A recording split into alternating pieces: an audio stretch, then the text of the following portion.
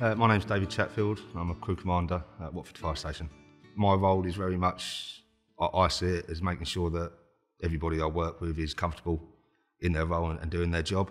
I do take pride in making sure that they are happy with what they're doing, and we do obviously attend challenging incidents, and their mental welfare after an incident is always on the forefront of my mind. I recommend um, taking part in physical activity to promote um, not just physical fitness but mental well-being. Personally, I find that if I've had a stressful day, whether it be at work or in my personal life, that sometimes just by going and doing some physical exercise, it it allows you time just sort of take your mind away from things. You know, you, you start concentrate on, on what you're doing and what you're participating in, and at the end of it, you always feel better.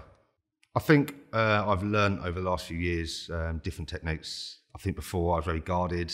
Um, I didn't really discuss it. I just sort of dealt with it on my own. You always have discussions on the watch, and you talk. You know, make sure is everybody okay, and it was a little bit maybe a stigma around it years ago. Everyone's like, yeah, yeah, we're fine, we're fine. But realistically, I think it definitely starts to take its toll on people. Um, for me personally, we tried co-responding, and I attended uh, a lot of incidents which turned out to be fatal, and where I've attended nasty RTCs or house fires where there's a lot of carnage and devastation, and you can almost understand why somebody's died when you start turning up to people who have had a heart attack and they're in their house and there's no damage, there's nothing to sort of show you why this has happened. It's just, you know, someone's fallen ill and it's happened. And you see the family and you, you speak to the, the, the wife or the husband.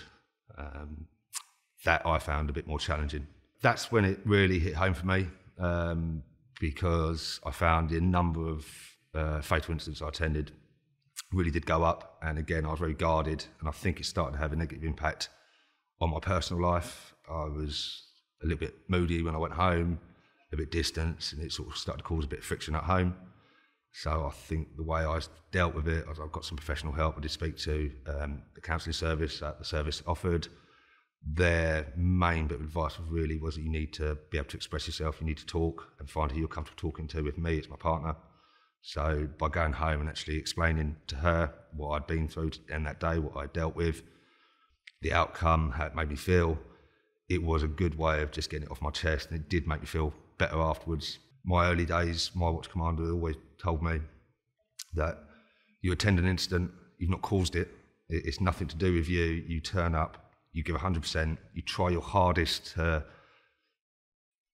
deal with that incident the right way, and the outcome is what the outcome is. As long as you can walk away and say, I've tried my hardest, I've done everything I could, I think that's probably the best bit of advice I've, I could ever pass on to um, anybody else within the service or in any other, any other situation. You know, as long as you can say, I've tried, I did my best, it wasn't my fault, I think that's a good way to deal with it.